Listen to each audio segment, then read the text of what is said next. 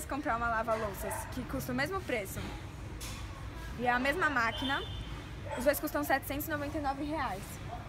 Um, na loja 1 você pode comprar parcelado em três vezes, com juros simples e com 3% de taxa. Sim.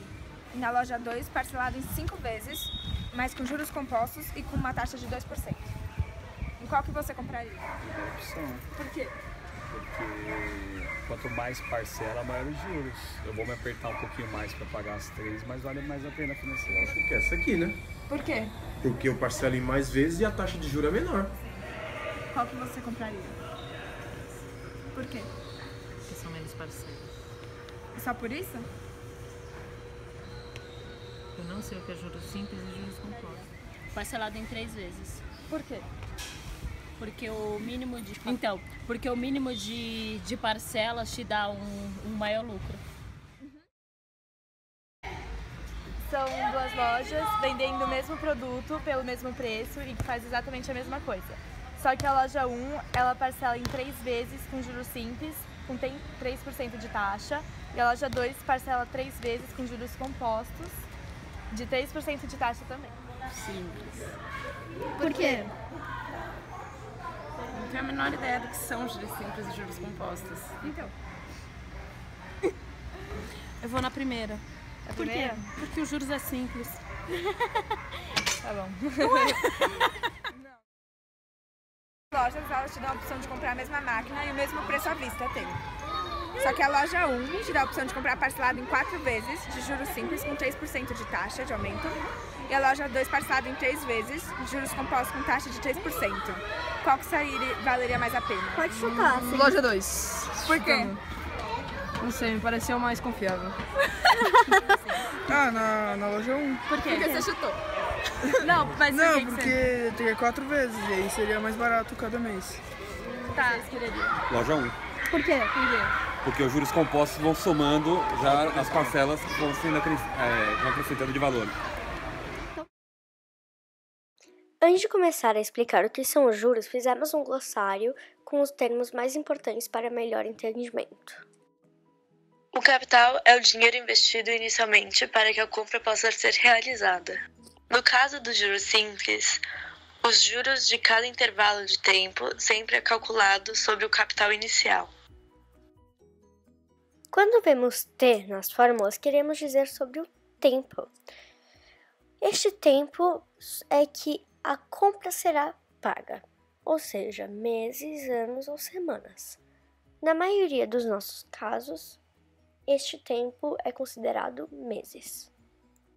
Quando vemos a letra I, em alguma das fórmulas, queremos dizer sobre a taxa de juros daquela, daquele produto. A taxa de juros nada mais é que a porcentagem adicional aplicada em cima da parcela, ou seja, o quanto será adicionado em cima daquela parcela em modo de porcentagem. Se em alguma fórmula tiver M, nós queremos nos referir a montante. A montante é a soma dos juros com a capital, que dá o resultado que gastaremos no final do tempo, ou seja, no total. Vamos então entender primeiro como fazer os juros simples. O primeiro passo para o cálculo do juros simples é transformar a porcentagem em um número dividido por 100. Neste caso, tem- temos que dividir o 3 por 100 e o resultado é 0,03. Para, para calcular os juros, fazemos a taxa de juros, que é 0,03, vezes a capital, que é 200, vezes o tempo, que é 4 meses. No final, isso resultará em 24. Depois, somamos esses juros a, ao, à capital e descobrimos o montante total do, daquele mês. Agora vamos ver sobre os juros compostos. A fórmula dos juros compostos é montante é igual a capital que multiplica 1 mais a taxa de juros elevada ao tempo.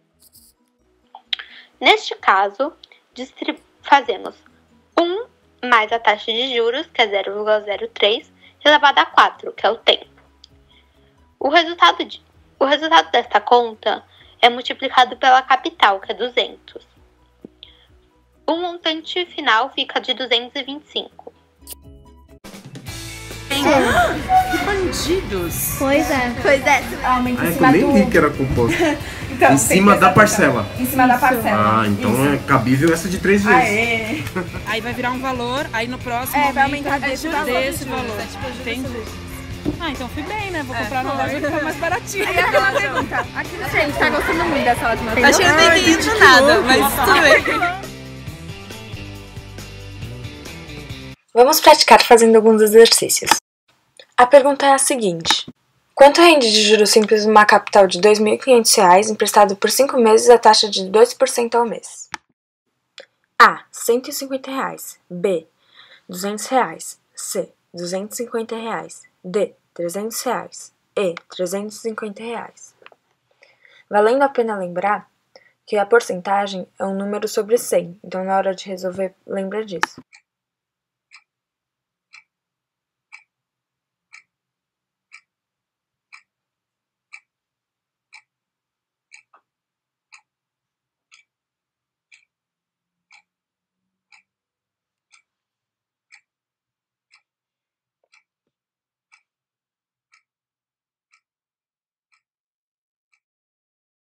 Se você escolheu a alternativa C, você está correto. Vejamos.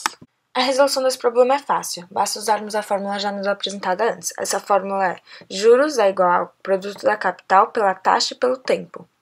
Assim, a gente substitui isso pelas informações dadas, lembrando que, o, que a taxa vira 0,02 porque nos é dado em porcentagem, e a gente faz a conta e vai dar 250. E é bom reforçar que esse vai ser os juros, não o valor inteiro que o cara, a pessoa vai pagar. A pessoa vai pagar a capital mais os juros. Assim, o, a resolução desse problema seria 250 reais.